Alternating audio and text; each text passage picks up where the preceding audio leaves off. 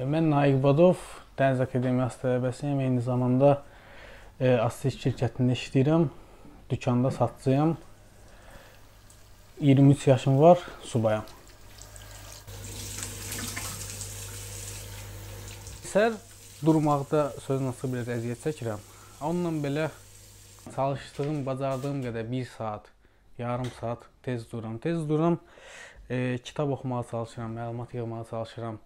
İdman edirəm yüngül varı e, ki, günüm daha gümrah keçsin. Ki, belə deyək, çox olub. Miləmil durmuşam, saat 10 yarısı işə getməyə. Onda mən hələ yeməyimi təzə yeyirdim. Elə günlər e, gün də fayda işləmsə aşağı düşür, işləyə bilmirsən, yorğun olursan.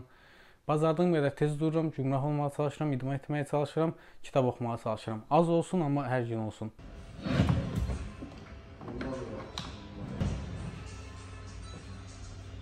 Birinci bunları belə belə təmizləməyə. Ondan sonra keçəm. Hamısını birinci belə təmizləyirəm. Ailəm dəstək verir, amma mənim 23 yaşım vardı artıq. Sonra 2 il sonra, 3 il sonra yəni mən ailə həyatı quracam, ailə həyatı quranda istəmərəm ki, atam gəlsin, soyduğumu doldursun, mənim cibimə pul bassın.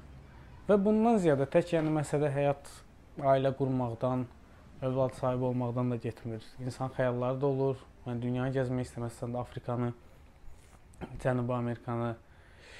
Bunun üçün də pul lazımdır.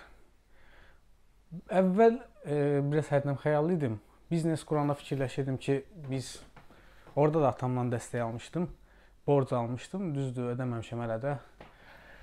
Amma sağ olsun heç nə demir. O vaxt e, xam xəyallarla girmişdik işə. Çox adam dedi ki, yaşınız azdır, təcrübəniz azdır. Dedi ki, yox alınacaq, biz elə eləyəcəyik, belə eləyəcəyik, alınmadı. Amma peşman deyiləm. Niyə təcrübə qazanmışam? İndi e, düşünürəm ki, bir işə girməzdən qabaq işin nəzəri hissəsini tam öyrənmək lazımdır. Bir də həyat təcrübəsi olmalıdır, işləmək lazımdır.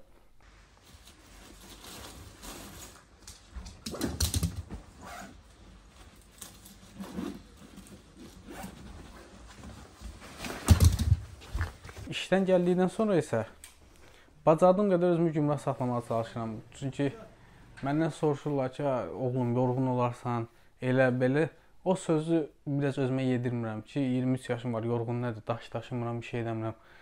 mən də özümə yorğun deyim, fəhlə adam nə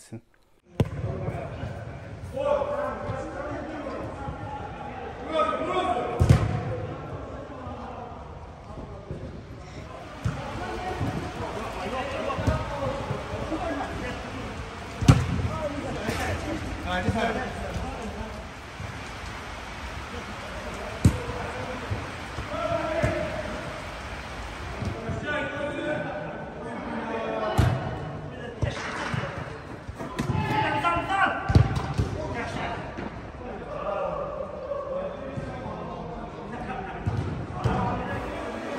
Şurada var.